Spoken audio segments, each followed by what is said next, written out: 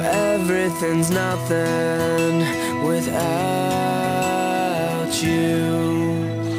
I want you to